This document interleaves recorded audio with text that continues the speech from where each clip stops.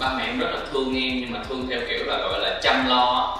Là kiểu uh, con thích ăn gì con muốn đi đi đâu đi làm gì uh, nhưng không có cho tiền. Không cho tiền nhiều. Đại lại là ví dụ như cho một tuần là cho khoảng năm ờ, hai ba trăm ngàn à. Sau này thì khi mà mình đã bắt đầu mình chủ động được hơn và ba mẹ cũng ba mẹ cũng support mình hơn. Tại vì ba mẹ hiểu là uh, uh, bây giờ đây là công việc của con rồi.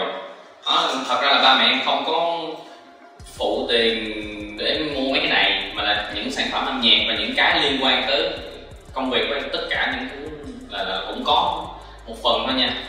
Còn lại là em vẫn handle hết. Em bắt đầu em được mọi người biết đến nhiều hơn em cũng rất là lo. Tại vì mẹ em là một người rất yêu mạng xã hội mẹ em hay đăng hình em rồi này kia lắm.